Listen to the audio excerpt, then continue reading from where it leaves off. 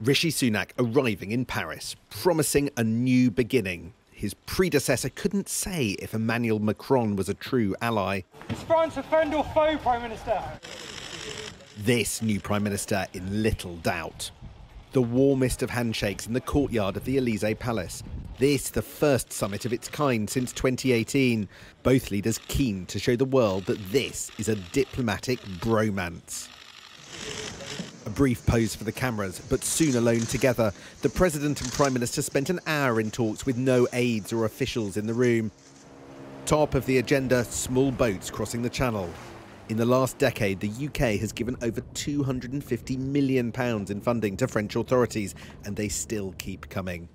Rishi Sunak believes his predecessors took the wrong approach. If we're honest, the relationship between our two countries has had its challenges, but I believe today's meeting does mark a new beginning. This means concrete action from the French to help stop small boats. We're announcing a new detention centre in northern France, a new command centre bringing our enforcement teams together in one place for the first time, and an extra 500 new officers patrolling French beaches. All underpinned by more drones and other surveillance technologies that will help ramp up the interception rate.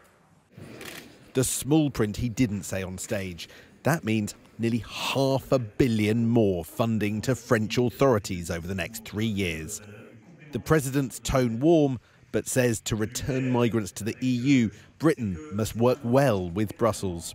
Not an agreement between UK and France, but an agreement between UK and the EU, because Dublin Agreement are no more uh, in a situation to be implemented. So this is something now to be negotiated. Rishi Sunak closed this summit declaring the Entente was renewed, and he's certainly succeeded in transforming the tone of the relationship with the UK's closest neighbours. But he needs to convince the country and his party that this is the right approach, that collaboration doesn't involve more compromise than confrontation, which was the way Boris Johnson and Liz Truss did it. And that has been made harder by the fact he's just written a cheque to the French for half a billion pounds. The pomp and platitudes of a summit leave big questions unanswered. How will the detention centre work? Will more money finally mean fewer crossings? Rishi Sunak's reset continues. Next stop, the United States. Being popular with fellow leaders doesn't mean votes at home, however.